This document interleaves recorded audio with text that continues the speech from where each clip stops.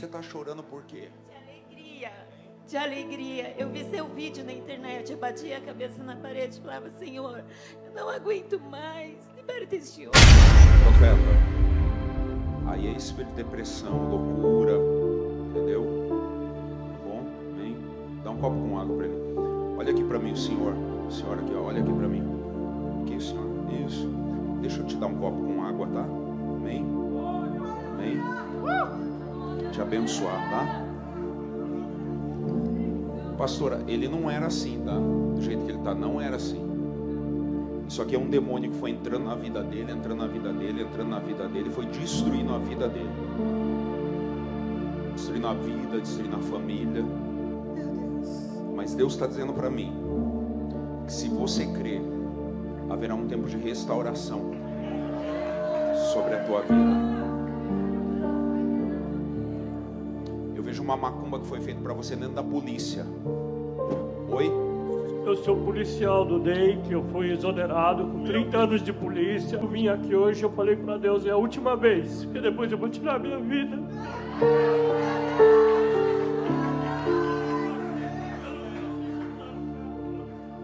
Por que, que essa porta? Por que, que essa porta tem que ficar aberta? Se é o que dele? Esposa? Tem 30 dias. Tem 30 dias que ele que ele está no escuro. Isolamento. O diabo ele pega. O diabo quando quer matar alguém ele isola a pessoa do bando. Tira da, do bando da igreja. Tira de perto da esposa. Tira de perto dos amigos. Tá entendendo ou não? Coloca no quarto escuro. Quem crê? Ele falou que era o último dia tirar a vida dele. Quem crê que esse homem vai viver os melhores anos a Eu partir creio em de Jesus Cristo. Eu creio. Crê? creio. Hein? Esse culto não é normal.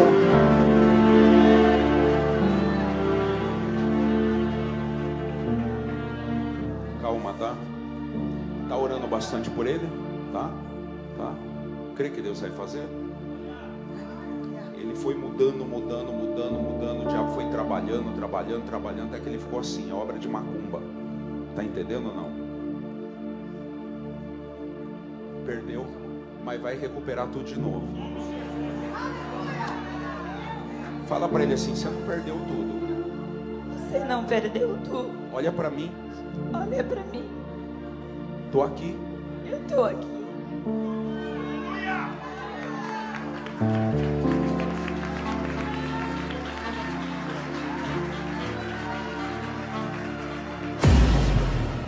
Profeta, ele foi liberto desse espírito de morte. Você tá chorando por quê? De alegria, de alegria. Eu vi seu vídeo na internet, eu batia a cabeça na parede e falava, Senhor, eu não aguento mais, liberta este homem. A gente era de um ministério e viraram as costas pra gente, mandou ele pro psicólogo, psiquiatra. E aí eu falei com uma, uma amiga, o dia que eu puder ir lá, eu sei que ele vai ser curado. Ela falou, eu te levo, eu te levo. Aí ela trouxe a gente no dia 6 de agosto. E ele falou que ia se matar. E o que, que Deus fez? Eu tô com ele há 18 anos, pastor. Ele nunca quis casar. A gente vai casar dia 16 de setembro.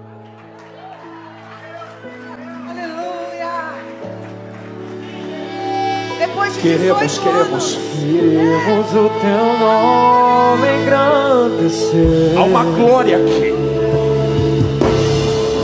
e agradecer-te por tua obra em nossas vidas. profeta, Oi, pastora. vão casar? Tá queimando a chama do chamado novamente no coração dele, tá trazendo almas para Deus e tá de mudança para salto. Ele quer servir essa casa. Pastor, eu já pisei em muitas igrejas. Eu já dei muito na maçonaria e na macumba. Eu era de candomblé, eu era maçom, meu pai satanista. Quando eu pisei aqui, eu vi o Espírito Santo. Eu pedi para ela, me interna, porque eu vou me matar. Aquele dia eu falei, é a última vez, eu vou me matar. Esse lugar é lugar da última vez de alguém. Eu vou profetizar de olho aberto. que a glória desta última casa será maior, será maior. E agradecer Por tua obra, a